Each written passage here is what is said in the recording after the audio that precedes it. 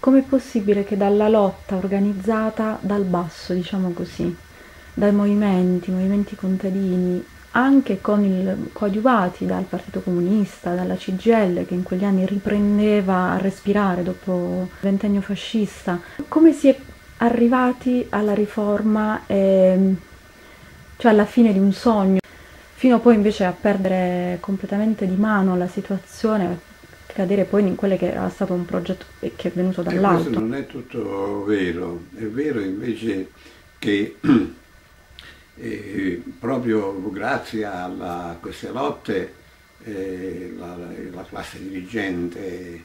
eh, borghese, quindi la, la, la, democrazia cristiana, che allora era il partito maggioritario, eh, che, aveva, che, che, si esprimeva anche eh, nel, nel, governo come, come, capi del governo, eccetera, e capirono che bisognava, che non era più il tempo di, di traccheggiare, insomma, il movimento per la terra era significato eh, un fatto, era un fatto preciso, c'è la volontà popolare di avere la terra e di darla a, nelle mani della, di quelli che la lavoravano e quindi toglierla dalle mani dei, della, della, rendita parassitaria, dei, dei feudatari che, che non, non, non, trasformavano questa terra, non la rendevano produttiva. De Gasperi fu costretto uh, a fare la legge di riforma, la legge Stalcio di riforma fondiaria, Stalcio perché era, uh, diciamo così, applicava in Lucania in Puglia, Lucania e Molise, applicava una, un, diciamo così, uh, una parte della legge di riforma fondiaria già fatta in Calabria. Ecco, e quindi poi sarebbe, sarà, sarà utile andarla a vedere questa legge come come fu formulata. In base a quella legge eh, si stabilì che eh, determinate eh, fette dei feudi venissero tolte dalle mani, venissero espropriate ai feudatari e assegnate ai lavoratori. Per fare questo eh, qualcuno doveva materialmente eh, farlo e allora la democrazia cristiana, il governo eh, decisero di, di creare eh, gli uffici di riforma fondiaria, l'ente di riforma, creò l'ente di riforma con tutta un'articolazione burocratica che, che, doveva poi curare materialmente, fatta anche di tecnici, di agronomi, eccetera, eccetera, di esperti, ma nel più, dei casi di galoppini della democrazia cristiana, che dovevano poi materialmente diciamo così, pilotare eh, l'assegnazione di queste terre, la, la, le trasformazioni e i criteri di trasformazione. Ecco, in questa fase eh, avveniva, diciamo così, si, si, si determinava la, un processo di, di, diciamo così, di, di intervento gattopardesco, nel senso che eh, tutto doveva cambiare per non cambiare niente o, o per cambiare, cambiare tu, cambiare tutto a, diciamo così, a, beneficio di una parte politica, cioè invece di, mandare, di assegnare queste terre al 100% ai braccianti, ai contadini poveri, a quelli che la terra la sanno lavorare, addirittura si assegnava anche a persone, a famiglie che con la terra non c'entravano niente, che sono calzolai, sarti, che venivano selezionati, presi dai paesi, portati sulla terra, perché erano, erano quella, così, quei galoppini che dovevano garantire poi il consenso intorno alla democrazia cristiana. Non tutto fu così, fu, così fortunatamente, perché insieme a quelli parte della terra venne assegnata a contadini autentici, a contadini autentici che la terra la, la, sapevano, la, sapevano, lavorare. Scoprì quando, i primi anni del 60, quando sono arrivato io a conoscere la realtà del Metapontino, a Poligoro c'erano due, due, poderi contigui lungo la strada che portava al mare, e una era assegnata a, a, un contadino, a un comunista di Cerignola, Pasquale Martello, che poi è diventato un, un leader del movimento, del movimento democratico di quella, di quella, di quella zona, ed era un contadino che il contadino lo sapeva fare e in pochi anni ha trasformato il suo potere in un giardino. Cioè, andare sul, sulla terra di, quello, di, questo, di, questo, compagno, di, di, Pasquale Martello, significava vedere come, come doveva essere effettivamente la riforma fondiaria, cioè il bracciante che era diventato proprietario che però aveva trasformato la terra, aveva reso fertile un pezzo di terra che prima non era, non era così, era una landa deserta. Accanto al podere di Pasquale Martello ce n'era un altro assegnato a un certo Castellucci, che era un, un galoppino democristiano, e, e, la differenza fra i due poderi era visibile perché a, a fianco al, al, giardino di Pasquale Martello c'era questa landa desolata di un podere senza coltivazione, non trasformato, perché questo, questo Castellucci tutto era, tranne che un contadino, era un fanullone, un galoppino della democrazia cristiana che non, non faceva il suo dovere di, di, di, di, contadino. Ma dico questo episodio per dare il senso poi di quello che più in grande avveniva e più, in modo più generale nella, nella, in, in, tutto, in, tutto, il, il territorio della, delle, di, del Metapontino e, e dell'ente di riforma. L'ente di riforma è riuscita a fare questa operazione, operazione di, di, di, discriminazione, eh, tant'è che ecco, così come, come ricordiamo la, la,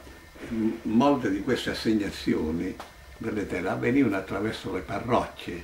cioè dove, dove si, si, si, stabiliva chi doveva andare, a chi doveva essere assegnata la terra erano i parroci dei paesi che indicavano alla, ai loro dirigenti, ai loro referenti del, del, del partito e del governo chi do, dovevano accontentare perché erano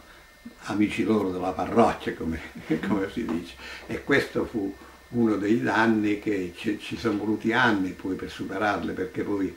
vero, eh, oggi, diciamo così, eh, il, il, territorio delle, della, della ex di riforma è tutt'altro, cioè tutto trasformato perché sono, è arrivata una classe imprenditoriale nuova, diversa, che insomma, la situazione è cambiata rispetto ad allora, ma il punto di partenza è stato quello e quel punto di partenza ha costituito una perdita di tempo di almeno vent'anni per avviare veramente un processo di trasformazione, di trasformazione positive della, della, di questi territori.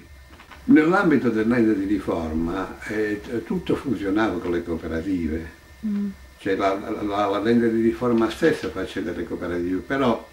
stabiliva eh, criteri di direzione delle cooperative che erano, che erano molte volte sbagliate, anche nelle stesse,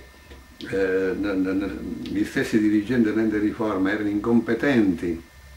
diciamo così, incapaci di pilotare un processo di cooperazione, per cui si facevano le, le cooperative, che erano co cooperative di produzione al lavoro, non di proprietà della terra, per cui eh, si, si, dovevano, diciamo così, si, dovevano, stabilire i criteri di, di, acquisto delle macchine, delle sementi, di trasformazione. E si sono fatti una serie di errori eh, diciamo così, infinite da, da, questo punto di vista. Io ricordo che in quegli anni, nella, nei primi anni del 60, quando cominciai a scrivere per l'unità, mi sono interessato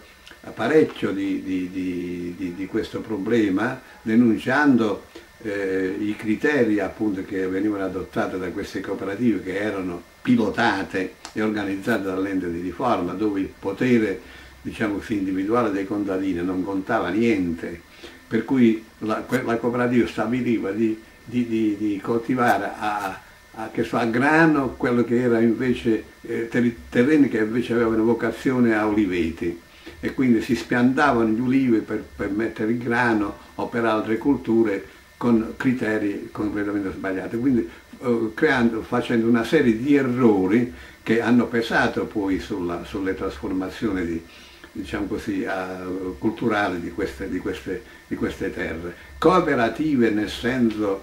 che, che, dici tu, non se ne sono fatte, eh, erano, non si potevano fare, cioè i contadini non potevano mettersi mm. autonomamente insieme per fare, per fare eh, delle cooperative fra, non so, 10, 15, 20, 20 poderi, eccetera, perché l'ente riforma non lo permetteva. Poi sorse il problema di fare dei consorsi,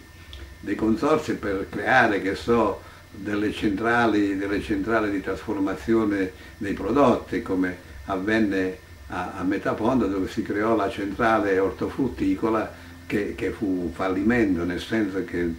eh, si rispondeva a criteri, a criteri di, di, clientela politica, ma non, non, non, funzion, non, entrò mai in funzione, ci,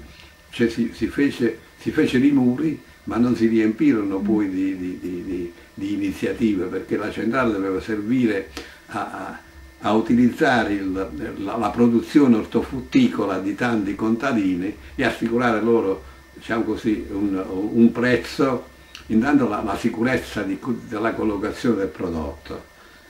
perché la, la, la centrale doveva,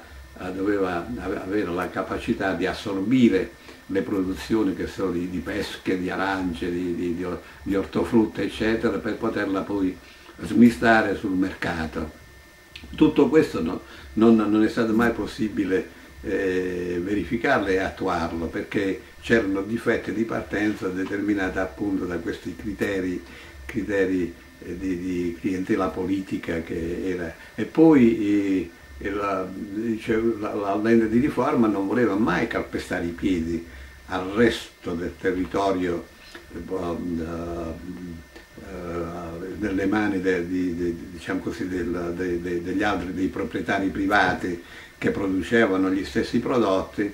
cioè organizzare la vendita del prodotto del, di queste cooperative significava impedire agli altri proprietari, proprietari privati di vendere il loro prodotto e imporre i, i prezzi di, di, di concorrenza, cioè, senza concorrenza. Quindi c'è questa, questa questa cosa che non ha funzionato insomma e poi questa, la, la, questa struttura con, con il passare degli anni eh, così si è, si è, è deperita, insomma non se ne è parlato più, ma tante altre iniziative, tante altre iniziative. L'unica cosa che ha funzionato era l'AIMA, nel senso che, che l'AIMA assorbiva il, la, la, il surplus della produzione delle pesche o degli aranci, li distruggeva per mantenere i prezzi alti i, i prezzi ed era un peccato perché insomma, era il frutto, il frutto del lavoro di, di, di, di un anno che veniva, che veniva distrutto, una tragedia insomma. Un po' come viene con le quote latte o esatto. tutto, le quote imposte le quote, la, la alla PAC. Io non so europea. se ora funziona alla stessa maniera, però per anni ha funzionato. Quante volte io sono andato eh, prima per il giornale, per l'unità, a, a, a, fare dei servizi e poi quando lavoravo per la televisione, prima con Telenorbe e poi con TRM, andavo a fare dei servizi a vedere queste montagne di arance calpestate dai trattori, distrutte sotterrate, oppure di pesche, oppure di cavoli, eccetera. Cioè invece di creare delle industrie di trasformazione per fare poi, non so, dei succhi di arance, dei succhi di pesca, eccetera, no? degli sciroppi, eccetera, eh, cioè si sceglieva la strada della distruzione, che era la strada più, più sbagliata che si potesse concepire. E però quella era la politica che passava il convento e quella si è fatta.